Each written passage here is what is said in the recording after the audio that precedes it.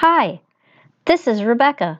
Welcome to Squintillions. In this video, I'm going to demonstrate the ETF screener at TD Ameritrade. Before we get started, I'm going to share some background information. I have my IRA at TD Ameritrade, as well as custodial accounts for each of my two sons. In mid-May, I decided to open a trust account with TD Ameritrade because I received a large check that I wanted to invest. Opening a new account allowed me to get a deal of 500 free trades for 60 days, which gives me time to invest this money without paying commissions. My plan for this account is to treat it like a foundation where I don't touch the principal.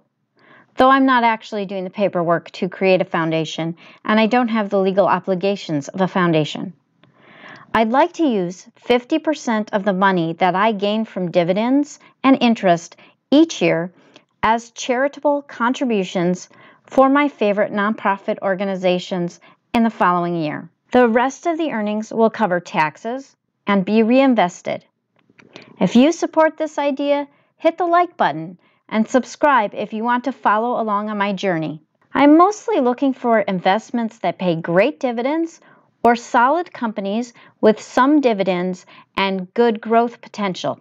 I'm primarily looking to invest in ETFs, exchange traded funds, to spread the risk. I'm selecting the ETFs I am interested in and setting up limit orders at prices that I believe the funds might dip down to in the next month. If an order doesn't go through, I will reevaluate in a few weeks and either adjust the order price or make a different investment selection. Now let's get started with the ETF screener. The ETF screener is under the Research and Ideas heading.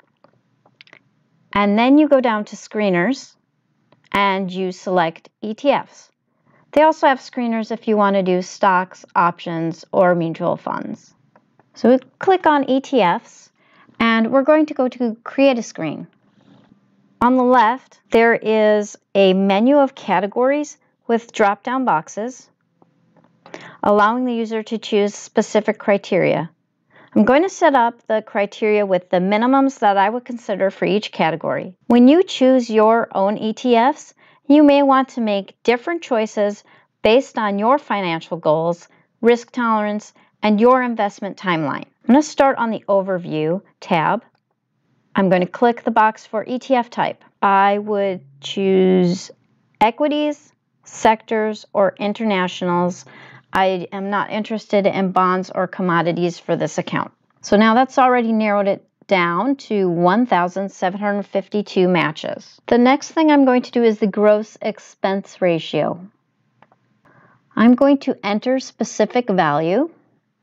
So I want the expense ratio, this is basically the cost of owning the fund, to be less than or equal to 0.4%. That eliminated quite a few options, which is fine because I'm trying to get fewer ETFs to select from. The reason I've put the uh, gross expense ratio at 0.45% is that I strongly dislike giving my money away in fees. And when there are so many lower cost ETFs available that will meet my needs, I don't see the point in paying a higher expense ratio. Next, I'm going to scroll down these categories to dividends because that's important for this account. I'm going to start with distribution yield and enter a specific value. And I want my distribution yield to be greater than or equal to 2.2%. Uh, you can see they've listed the average here as 2.16%, and I want to do that or better. I'm going to do the dividend 12 month totals. And this I want to be greater than uh, a dollar per share. And now you can see how much it's narrowing down here on the right side. I'm down to 143 matches. The next thing I'm going to look at is price. I'm going to select current price and then again enter a specific value. I like my price to be less than $200. This is a personal preference because I like to reduce the risk of a large per share loss. So I like my prices to be under $200 per share. Next, I'm going to look at performance. I'm going to select total net assets. And again, I'm going to enter specific values. You're welcome to choose uh, from the options they give you. I'm going to have this greater than 50 million. Five zero zero zero zero zero zero zero. I decided to create a minimum total net assets screen to weed out some of the smaller ETFs. Now I'm going to look at ratings and risk. I'm selecting the box for beta and I'm going to enter specific value and I'm going to do less than or equal to 1.2. I'm uh, looking for ETFs with lower volatility, so I added beta to the criteria.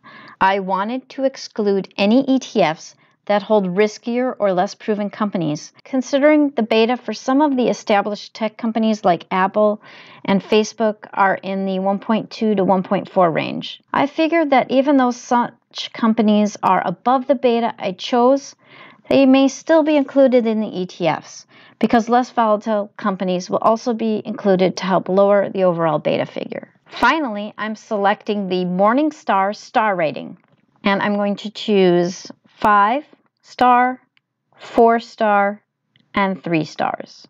And now I'm down to 45 ETFs.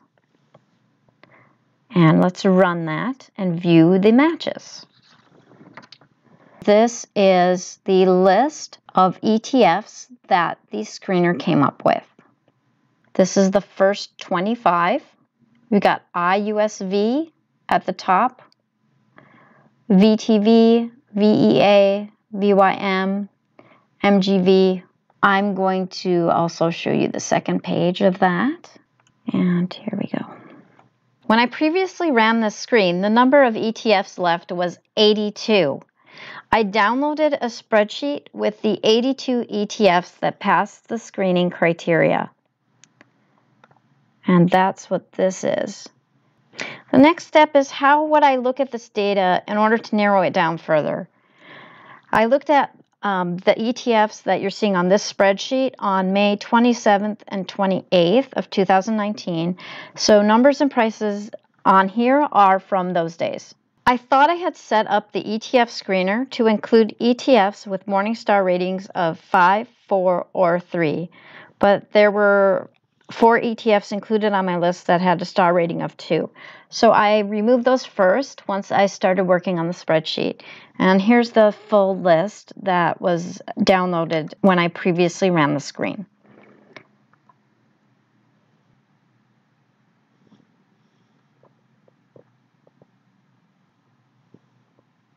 This downloaded spreadsheet didn't include the dividend cash amount or the distribution yield, so I ended up adding those columns later.